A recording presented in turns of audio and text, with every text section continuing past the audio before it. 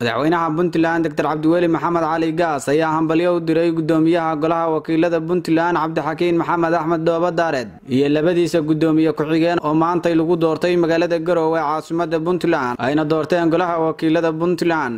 Bismillahi raxmaan raxiim assalaamu calaykum raxmatullahi wabarakaatu maanta waa maalin taariikhi ah taariikhda soomaaliya iyo puntlandba waxaa maanta bisha janawari afarteedii oo jimcaha lagu doortay guddoonkii baarlamaanka ee puntland.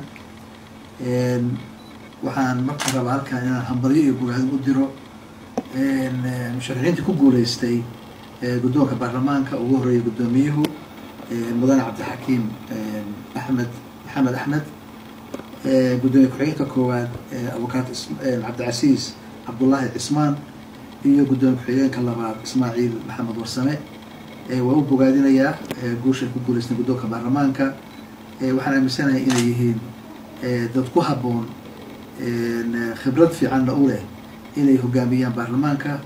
Puntland shanta sano soo socota ku hogaamiyaan wadajir iyo midnimo iyo cadaalad iyo iyaga oo shaqada loo igmaday ee ah xeer dejinta iyo sharci sameynta puntland in ay sidai ay ahayd ay u gudan doonaan baarlamaankana ay ku hogaamin doonaan hogaamin wanaagsan insha allah. Ayaan rajeynayaa waxaan rajeynayaa sidoo kale bisha janawari sideedeeda ee soo socotay ina waxaa dhici doontaa doorashadii madaxweynaha iyo madax ku-xigeenka ina waxaan rajeynayaa inay si cadaalad ah oo wanaagsan ay u dhacdo sida taniba ay u dhacday.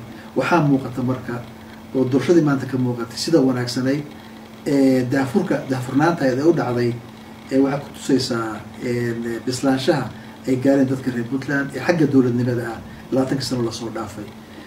Doorasho xor ah xalaal ah oo si nabadgelya u dhacday ayaa ka dhacday maanta puntland oo adduunku dhan uu daawanayay puntland iyo soomaaliya o dhanna ay markhaati ka ahayd. Jaamac ciise maxamuud saab t v garowe